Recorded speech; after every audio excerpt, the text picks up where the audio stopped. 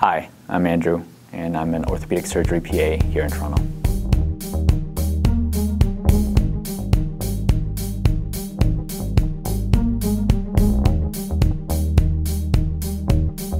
Uh, my name is Andrew Lim. I'm the physician assistant for the Division of Orthopedic Surgery here at Sunnybrook Health Sciences Center. It's located in Toronto, and I work as part of the orthopedic trauma team. Can you tell us a little bit about what you did before you became a PA? Uh, so prior to PA school in general, um, I, I, studied uh, kinesiology at the University of Guelph Humber. Uh, that's where I kind of found my passion for anatomy, physiology, and I wanted to apply that uh, more into a clinical practice setting. So previously, I was looking into uh, becoming an exercise physiologist, um, and just along the way, I kind of fell in love with orthopedics as a whole, and started looking around for other opportunities to kind of continue that passion. So I found the physician assistant program, um, actually more through word of mouth from a family member who suggested a physician assistant as a role because she was a nurse working in the United States, very well established there and I started looking more into it, and ever since then, it just kind of fell into place. And were there other careers that you were considering apart from exercise physiologist? Yeah, actually, so I was looking into both occupational therapy and physiotherapy. So in kinesiology in itself, um, a lot of, at least my experience with my colleagues, is that it is a, a fairly smooth transition over to one of those two fields. Um, I was looking into it, but I wasn't sure whether or not it was something that really would have held my interest for a long period of time. I think I wanted something that was a little bit more broader in scope and had a little bit more opportunities for development in the future. Do you ever consider the MD route? I did previously. Um, I felt that you know it's it's definitely it was definitely an option at the time, but the more I thought about it, the more I thought that I wanted to start working as soon as possible, and in a way, it, it kind of did detract me from that MD route just because going through medical school, going through residency, fellowship, and applying for a full-time position, you know, it, it, didn't seem as appealing to me at the time. And of course, you know, I, I just found that something like the physician assistant route was just a bit more you know, specific to what I wanted at the time. And going forward, I think that I made the right choice. Okay, and just a general overview, what are some um, things that you enjoy about being a PA? Uh, PA as a profession, actually, it's it's really interesting because it is a very new and exciting position. Uh, a lot of people, you know, and I speak with a lot of my physician assistant colleagues in the United States. Even now, it's uh, it's very new in the states, and especially here in Canada, it's definitely something that I really enjoy being part of something new, something innovative, and something that is definitely growing. And you know, here at the CAPA conference, I, I definitely see just how much our profession has changed um, it's definitely something that has opened a lot of opportunities for me, not just in a clinical setting, but also in other settings in the hospital as well as just uh, in teaching. Okay. And uh, where did you go to PA school and when did you graduate? I went to the uh, university, McMaster University rather, uh, physician assistant program, uh, enrolled in 2014 and graduated in 2016. Um, I, I, looked into the different schools and I found the McMaster just because their program in itself had a very uh, different style of teaching with PBL uh, was a little bit more appealing to me because in my undergrad I found that that was um, something that I already kind of fostered on my own, just problem-based learning, kind of case-based approach. And did you know where you wanted to work after being done PA school? I did actually. So, uh, fortunately for me, I did uh, meet the right people during my clerkship years. I always um, approach a clerkship or just any sort of clinical rotation as almost like an extended job interview. And so I started to ask around and started to kind of you know, figure out whether or not the physician that I was working with was interested in hiring a PA. And that led to opportunities to meeting someone from uh, the Sunnybrook um, Orthopedic Surgery Unit that uh, was actually looking actively for a physician assistant. And everything just kind of fell into place once I uh, applied for an internship there. And, and, I was able to apply for the position later on that year after my graduation, and everything just worked out. We personally had you as a student, and we, um, Oku tells me that you were excellent. So, what were um, some key attitudes, behaviors, or approach that you had to clerkship, making sure you showed up and made a good impression? I think um, a lot of what I did, not just in the clinical rotation itself, but my approach to you know, getting into PA school, succeeding. A lot of it has to do with exuding confidence and whether or not you really do have that confidence innate.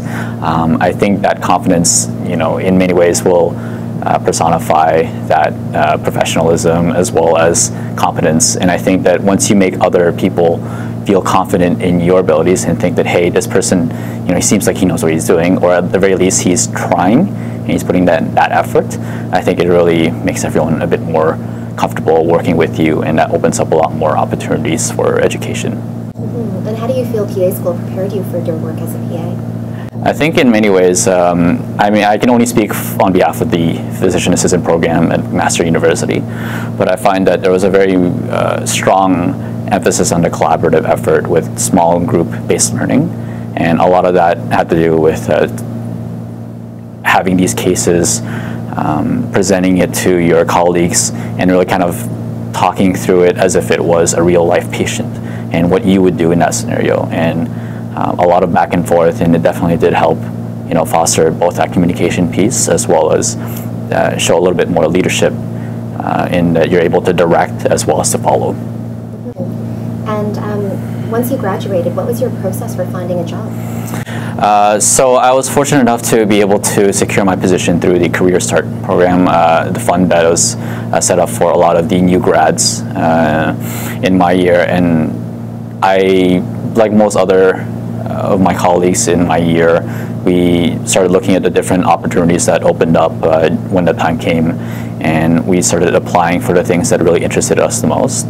Um, I was fortunate in that I did do a clinical rotation with the orthopedic surgery group over at Sunnybrook, and so they were very familiar with me, and just kind of going back, you know, trying to you know, exude that same confidence in my application, in my resume, and making sure that um, this is something that you know, really did resonate with them as well. And um, going through multiple different applications because you never really want to subject yourself to just one, especially because there are so many different opportunities available. And there are a lot of great positions open in my year. And it just turns out that the one place I really did fall in love with, you know, I guess felt the same way about me. So for, for those that aren't familiar, uh, how would you describe or define um, the specialty of orthopedic surgery? So orthopedic surgery is, uh, in many ways, one of those specialties that often will get a bad rap because I find that uh, a lot of the different fields will have this notion of what orthopedic surgery is. Oh, these are guys who just fix bones. That's all they do. Whereas it's actually a little bit more complex than that. And I find that um, living it, I, have really enjoyed just and appreciated just how complex different things are. I mean, there is a lot of medicine involved, especially in my role, because I do work with a lot of the inpatients, looking after their acute uh, issues as well as the postoperative complications. There is the more technical side of things, making sure that you're able to um, help out either in the OR setting or in the inpatient trauma setting wherein you have these consults coming in, you're admitting them, making sure that they have all their medications ordered, making sure that they have you know, everything they need to succeed prior to the surgery. And there's a lot of uh, intricacies to it that I never really got to appreciate until after I started working and living it. And do you work um, in one subspecialty or with one physician, or how does it how does it work? So my group is a little bit different. Um, I guess in many ways it's very similar to other hospital groups in the sense that there are going to be multiple surgeons. In my my institution, we have 16 orthopedic surgeons.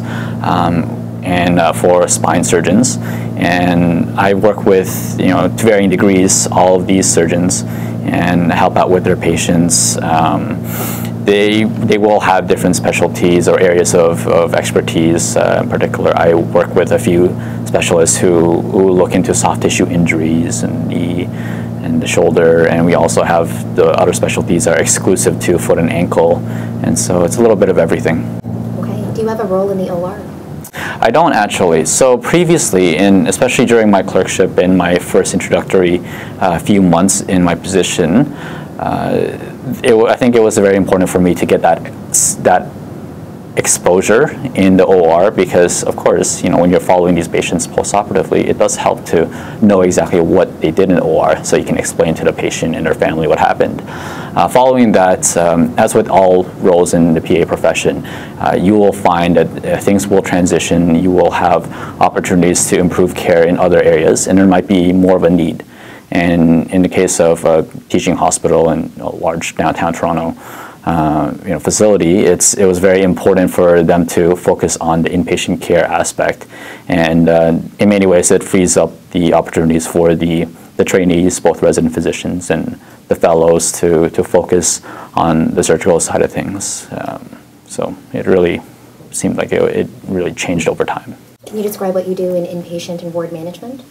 Yeah, so uh, generally speaking, my day will start out with uh, touching base with the team leaders or the charge nurses in each unit that I work with. Uh, whenever I have patients around, I'll chat with them, see if there are any concerns overnight with patients or if there's anything I can do to help facilitate their care and their eventual discharge plan. Um, a lot of times I will actually speak with the nursing staffs themselves and say, hey, is there anything I can help out with? Or actually more often than not, they will come to me and say, hey, this patient has this medication that's ordered. I was wondering if you could clarify this or if you can update the family. And so a lot of my days will be um, held either chatting with the nursing staff, the patients, their families, or the members of the allied health team. So, what impact does having a PA in the inpatient ward have on staff, on patients, on nursing? I think um, for the staff um, perspective, I, I, think it really makes a huge difference in terms of improving patient care, both in a patient flow setting, making sure that we're able to um, meet these patients, uh, care for them, and help facilitate this, their discharge in a fairly timely manner. Uh, from the, the patient perspective, I found that I've had a lot of great feedback because um, it's really tough for the resident physicians to be able to spend as much time as they can because they do have other duties and responsibilities, not just to that patient, but to all other patients. And that frees up the opportunity for me to step in and uh, take a little bit more time to go over the patient and their surgery. Gives the patient a little bit more of uh, satisfaction in knowing what has been done and gives them that confidence that, hey, this person is looking out for me. And so I'm, I'm in a good place. I'm happy to kind of uh, carry on with my care. Mm-hmm. Can you describe what you do for uh, call or consults? So I also take consults uh, for the emergency department, both through the outpatient emergency setting as well as with the uh, traumas that we come in that come into our hospital, and um, both the approaches are, are, a little bit different um, for both of them. Of course, with the traumas, it's a more of a higher acuity setting, so we will have patients who come in uh, through EMS or Ornge, and with very large, often multiply injured um, patients. Um, and we kind of facilitate that uh, ATLS protocol, making sure that I, as part of the orthopedic surgery group, assist and help out with assessing the patient, making sure that we identify these orthopedic issues as soon as possible, and temporizing them or treating them right away. In the uh, in the outpatient consult uh, aspect of it in the emergency department, it's a lot more of uh, trying to navigate with the emergency physicians, see, hey, is this a, something that needs to be addressed as an inpatient in hospital? Is this something that needs to be admitted? Is This is something that can be referred out. Um, and we help, uh, we work closely with the emergency physicians to kind of help them out. Uh, luckily, we also have the um, expertise of other services so we can kind of collaborate and figure out what is the best disposition plan for the patient. And luckily, we also have um, anesthesiologists who help facilitate um, care in terms of uh, providing anesthetics for reductions of shoulders and wrists and elbows, things that uh, might need a little bit more expertise. So, what are some um, common conditions you get called down for, and what procedures do you do in those instances? Um, as with uh, any aging population, we will have a lot of consultations. Uh, essentially, they're direct admissions for the hip fracture population, as well as the um, insufficiency fractures or the um, uh, pubic rami fractures that come in. So these pelvic fractures, definitely, uh, these are the patients who oftentimes so we try to mobilize, get them going, and hopefully to home, but oftentimes we will admit. Uh, fairly common are the more complex uh, wrist fractures or um, ankle fractures that need a little bit of extra help with reduction and you get you know the, a couple of the um, the weird and wonderful. So sometimes you know you come in expecting a, a normal shoulder uh, that's been dislocated, but all of a sudden you have both a fracture and a dislocation, and it's a bit of a different dislocation. It's an inferior one or whatnot, and it's very interesting because I almost feel that there's so many different orthopedic issues that arise, and we get called down to so many that the weird and wonderful suddenly becomes routine, and the things that we read about in textbooks are actually there in front of you. So it's very, very satisfying. So apart from the fracture dislocation of a shoulder, what are some other uh, weird and interesting uh, reductions that you've done? Um, so it, this actually occurred fairly recently in the trauma bay. We had a patient who unfortunately was involved in an accident where he had his entire foot uh, rolled over by, I think it was an 18 wheeler. And so he actually had uh, what seemed like a fairly innocent injury at the time on initial clinical examination. He just had a very swollen foot. We decided to take some x-rays and it turned out that the uh, proximal interphalangeal joints for D1 to 5 on his right foot were all dislocated one over. So it looked like they were in the right position, but just one over. So D1 was where D2 is, and etc. And so it was interesting because I've never had to just kind of pop each and every single one into position. Um, it wasn't very challenging or whatnot, but I, I did find it was interesting. And um, you do these reductions yourself? I do. I do them with the assistance of the anesthesiologist or uh, trauma team leader uh, who will assist with facilitating anesthetic. Um, and oftentimes I will not be the only one there from the orthopedic group. I will often be uh, playing backup for the uh, first year or second year residents. Um, but I found that over the years, uh, as I start to grow into this position and feel more confident, confident in my abilities, um, I do a lot more teaching, and the first years and second years will come to me and say, "I've never done this reduction. Can you show me how, or can you do this with me?" And it's always been a great experience for both of us. Are you involved in fracture clinic or other outpatient settings?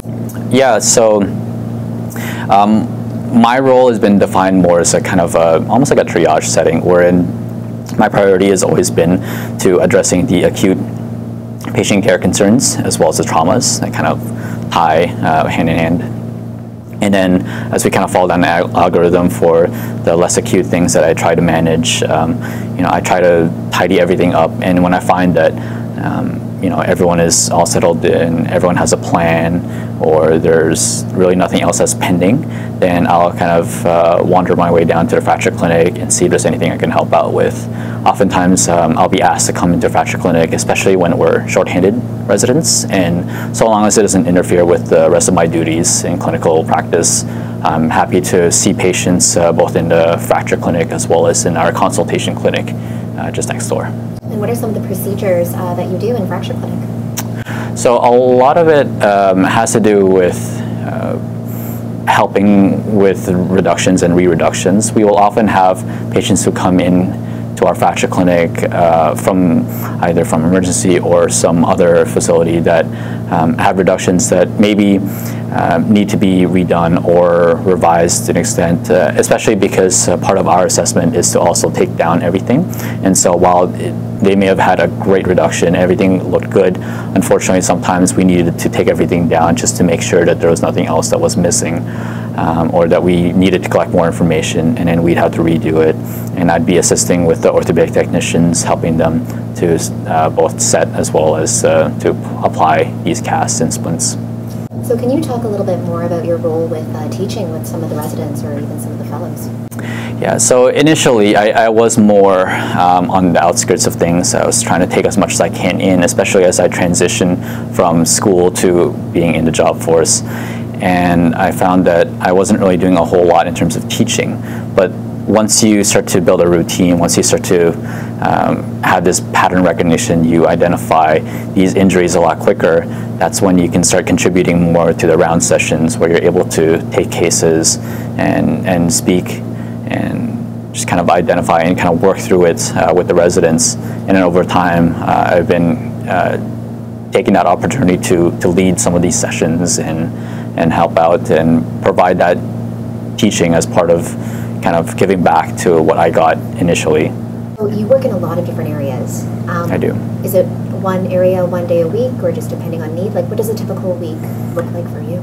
Uh, so generally every day is about the same in the sense that I will float around and so what I try to do is I touch base with the nursing staff uh, for, for the two main units that I work primarily in. So for the orthopedic unit on D5 as well as the trauma unit on C5 And uh, depending on what we discussed in handover that morning, I might wander over to the emergency to address something or um, the critical care unit.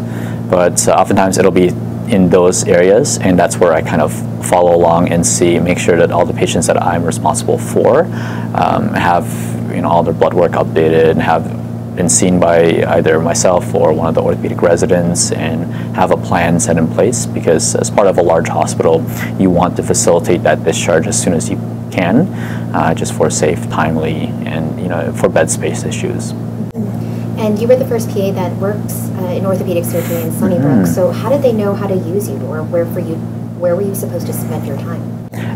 So I was lucky in the sense that I did have uh, some mentors and physicians who already had a vision of what they wanted. They, they identified that there was a need for a physician assistant or a, a, a mid-level care provider to extend the role of physician, um, particularly in areas for inpatient management as well as a, a essentially continuity care person, someone who's able to switch to kind of carry over from block to block for the residents and get everyone up to speed. And it seemed like there was something already in the works. I just helped to uh, foster that and really develop it as, as time went on because they found that maybe there wasn't as much emphasis placed on this area of uh, their unit that they should have placed more and I took it upon myself to, to kind of uh, fill in all those, those gaps. Yeah, PAs are all about sort of filling the need um, and so how do you, is there any formal way that you track the way that PAs are having impact the service? So initially, uh, especially during my year-end performance review, I took it upon myself to have some quantitative data, to something to kind of show how much of an impact it is to have a PA on board. Unfortunately, the data that we did come up with, it was very hard to to really just pin it down to that one factor because everything is variable. Uh, what I initially wanted to do was to uh, the data for the past three years of uh, how, like the percentage of patients who uh, were discharged below their expected length of stay, their BLOS. And I compared that to my year and how that differed. And while there was a bit of a difference for sure, uh, of course, you know, having such a very limited uh, sample you know, definitely it didn't. It was very underpowered, and so while it did look good on paper, it also, at the same time, wasn't uh, as, uh, as useful as I would have liked. Uh, what we did instead was uh, we did a lot of user feedback and surveys and trying to collect as much information from other people and what their thoughts are on my role and how they felt I was doing and how much I was contributing to the division as a whole. How were you oriented to the service when you first started, or were you just seeing patients hitting the ground running? I think because in a hospital setting, one of the major areas of focus was to develop my medical directives as soon as possible. I had more of what was considered like a probation type period where I was trying to learn as much as I can and knowing that my my scope was very limited because I wasn't able to order medications or use tests. I found that the best way for me to develop my skills early on was to attend lots of clinics and to make myself more of a presence. So initially, the nursing staff uh, on my units weren't really familiar with uh, PA. I was the first one on that unit. And so I started working with them a little bit more, chatting with them, and getting a sense of um, where they felt the need was for a mid level care provider. And I was able to kind of build that trust over time. And once I get my medical directives in, it just was very seamless from there. And can you, for those that do not know, what are medical directives and how does that enable you to practice? So medical directives are essentially um, advanced directives that are set in place uh, through the agreement of both the uh, one who implements the order of a physician as well as the physician themselves. Essentially, it's a document that will outline the things that I can, cannot do uh, with or without supervision, and uh, it's agreed upon by myself and the supervising physician. And I found that this is something that definitely will evolve over time. While you do have one set of directives early on, uh, there oftentimes the directives will either expand significantly or will narrow down a little bit uh, just to to fill in the need for the uh, the role. And do you prescribe medications? I do. So uh, I do prescribe medications. Um, the exceptions would be, of course, the uh, uh scheduled uh, banned substances, so the opioid narcotics, benzodiazepines. Um, generally speaking, it's I have a lot of uh, leeway in the amount of uh, prescribing power I have, but of course, making sure that I keep in mind that these are prescriptions that are meant to help the patient and that fall within the same scope of practice as my supervising physician. What can an orthopedic surgeon or service expect if they're going to be adding a PA to the service? I guess it kind of depends on where they feel the best place would be for a physician assistant to to really practice? Is it more of an outpatient setting or inpatient setting? Because that'll kind of dictate just um, you know the the different roles and the expectations and how much kind of uh, compensation they can get. Because I find that an inpatient setting, it's not so much there to to make money and it's not there to help recoup the losses because uh, a PA can be expensive for sure. The development and the training that goes into it. Um, and so they need to have that mindset that I want to hire an inpatient PA solely for providing my patients with better access to care or for to have them um, be involved in the care of the patient because you know I, I need some help in this area. Whereas in the outpatient setting, you know they, they will still have that mindset of I want to have more access to my patients, I want more people to be seen, but there's also a little bit of incentive behind that because they're able to bill for those consultations and assessments. Yeah. Now, you've met a lot of PAs across the United States and a few here in Canada. Mm-hmm. Do they all have the same uh, scope of practice or job responsibilities that you do? I find that in, in chatting with some of the uh, orthopedic physician assistants in the United States, they actually do have a very broad scope of practice, actually more so than myself at times. And I find myself very fortunate in my role here in Canada because, to my extent, or to my knowledge, it is definitely unique. Um, the ability for me to float around and and help out uh, not just in the uh, inpatient units but also in the outpatient setting has been uh, excellent for for myself, and I think it's unique, although I have worked with another physician assistant who has a very similar role over in Ottawa. What do you enjoy about ortho? Like, what, what gets you excited in the morning when you wake up, and what makes you passionate about it? It has to be the traumas. I, uh, you know, as, as bad as it sounds, I, I do enjoy these multi system traumas that come in because it, it adds to that complexity of the, the case and being able to see a patient coming in with all these injuries and I'm trying to problem solve and figure out, you know, how, how can I help this patient as quickly as possible and make sure that they have the best possible outcome.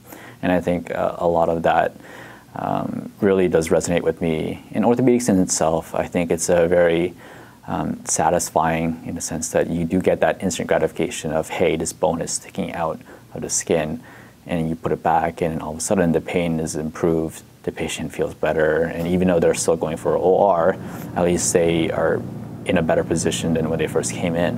And it's that sort of feeling that you can't really, you know, get anywhere else. And what are some of the challenges with ortho? I think with orthopedic surgery in general, the, the challenges mainly lie in the scope of practice and the role clarity because of course you also want to work with your, your colleagues, with your physicians, and with your resident physicians in particular. Um, and sometimes it, it, makes it a little bit tough when they have never worked with a physician assistant before and they're not sure as to what your scope is and how you're able to help them. And in many ways, they are so unsure that they either take everything upon themselves and it makes their life you know, quite harder, or they feel that they can delegate anything and everything to me, which you know, of course, makes my life harder, and also takes away from from them because they don't know how to fully utilize a PA. And I think this is something that is actually a, a skill that needs to be developed, being able to work in tandem with another colleague. And I think that it's something that, you know, with every block that comes in, you can run into these challenges. Would you say that working with a PA is very similar to working with a resident, or are there certain differences? I think that there's a lot of similarities, especially because uh, having both been trained in the medical model, I think that definitely the the mindset is very similar. The approach to patient care is very similar.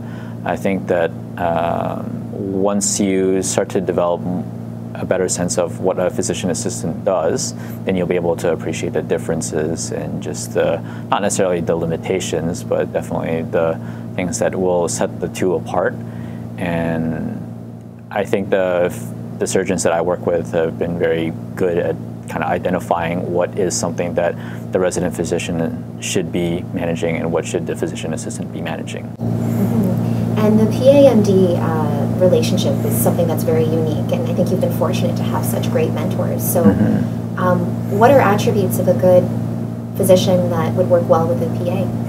I think communication has always been the number one thing to keep in mind because you should be in a position wherein you, you treat each other like colleagues and even though there is that kind of hierarchy with the supervising role, the physicians that I work with have fortunately been very open in communicating with me and they, they want my opinion on things and they really want to engage me as much like, as they can. And I think that's been a, a great way to, to grow that level of comfort and to have that role clarity and going forward, I think that is very important to, to foster that because once you lose that communication piece, that's when things start to go awry and that's when things start getting missed and that's when patient care becomes affected. And um, how do you stay on top of uh, current topics or uh, emerging treatments in ortho? So luckily, the physician group that I work with, they're very happy in continuing education. They're huge proponents of it, having uh, been facilitators in courses and teaching themselves. Um, so they really advocate for me to enroll in these uh, conferences to pursue my own personal education, as well as introducing me to conferences I've never even heard about because they think that it would be a good way to really expand my, my skills or to meet other people who are in a similar position as I am. What conferences uh, have you attended? So recently I've attended the uh, Orthopedic Trauma Association uh, conference. Actually, it was just a little bit over a year ago now, uh, but I found that that was a phenomenal conference to attend, uh, especially because it really does open up a lot of uh, networks. And I, there was a very specific uh, portion of it dedicated to PAs and NPs, which I found helpful. Uh, another one would be the AO um, basic fracture course, wherein I work with uh, resident physicians and other PAs who kind of go through this boot camp like uh, course and really get everything up to speed and review uh, current knowledge and, and, approaches to, to patient care in orthopedic. Are those American or Canadian? Any advice for PA students interested in pursuing a career or an elective in ortho? I think that, um, I mean, just taking from the experiences that I've had, uh, definitely trying to network as much as you can, meeting the right people. Uh, it, you never really know who's the right person, but always come into a rotation as if every single person you meet could potentially have a, a great impact on your career.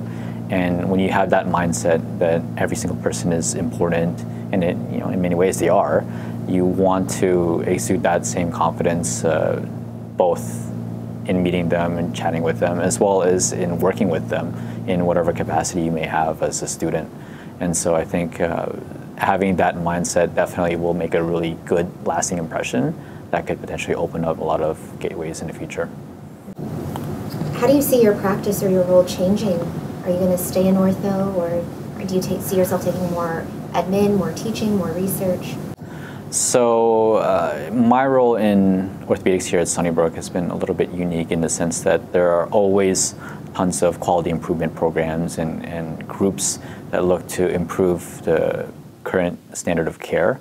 And I've, I've been invited and I've been working with a lot of these groups to kind of help uh, improve our protocols, help with the guidelines, and it's been a great experience so far. I think that's something that I'd like to continue pursuing in the future. Uh, definitely right now, as I learn more and more about orthopedics and as I uh, develop this uh, certain level of clinical gestalt, I'm very happy with uh, the, the teaching roles that I've been offered so far and will continue to do so in the future. Are you happy with your decision to become a PA? Oh, absolutely. Yeah, for sure. I think that this is something that I've always, I've never taken for granted. I think this is something that I'm always grateful for because every time I go to work, I'm always wondering, you know, what, what is it that I can do to make you know, the lives of my patients better? And in many ways, it's really humbling to see that there's so many people who, who come in through the fracture clinic, patients that I've seen multiple times previously, both as an outpatient and as an inpatient, and to see how much they've improved, I think that there's a certain level of, of satisfaction that you just can't get from any other profession. And the PA role is still new here in Canada. How often do you get asked, what is a PA, and what do you usually say in response? Oddly enough, I haven't actually had a lot of people ask me what is a PA. Oftentimes, when I introduce myself as a physician assistant, I think based, I mean, it's definitely a bit of a bias just because I work in a facility that employs uh, well over a dozen PAs currently, and so uh, there is that certain level of exposure. Um, but the, the few that I do run into that aren't really sure what a PA is or aren't really sure my scope and my, role, I try to you know simplify it as best as I can. Now, I, I think that in many ways I really advocate for myself as being a, a, part of the patient care team, as part of the surgical team. Um, but I do emphasize that I am a physician assistant. This is what I do. I'm here to help you. Um, let me know if you have any questions. And oftentimes they're just happy to, to have someone there who's, who's keen on helping them and to really expedite their care as best as possible. Because these are patients who, unfortunately, have had to suffer through these long wait times and not being able to have that timely access to care that we're trying to address. Those were all my questions, but I wanted to ask you a few questions about the conference. Of so, course. Did you attend the workshops on the first day? I did not attend the workshops because I did teach a workshop. So I'm part of the Stop the Bleed group here at Sunnybrook Health Sciences Center. Uh, so if, for those who don't know, it's a, it's a group that um, really it is more of an advocacy effort that kind of came about because of the Sandy Hook shootings back in 2012. And it's a way for us to better prepare the general public with the ability to, to stop bleeding because it is a life-saving measure, uh, not that dissimilar to CPR in many ways. And so we want to make it as accessible as possible. So uh, Christy invited myself and a few others to teach this course. And I think it's been uh, phenomenal, uh, both to teach uh, other healthcare providers to be instructors themselves, and just to, to meet these healthcare providers who definitely have a lot of expertise and uh, were actually able to show me a couple of things that uh, I didn't know about uh, with Stop the Bleed. So it's been a great experience. Excellent. And this is your first PA conference, right? This is my first PA conference. So That's right. What's the experience like meeting other practicing PAs in Canada? It's been good, actually. I, I didn't really know what to expect because I always found that this is still such a small profession by all comparisons, and to see, you know, well over 200 people here in the same building who are very in a similar position as myself with their profession and are just looking for ways to, to meet other PAs and to, to learn more about the, the different uh, aspects of medicine that really, you know, it's been a, a great experience overall.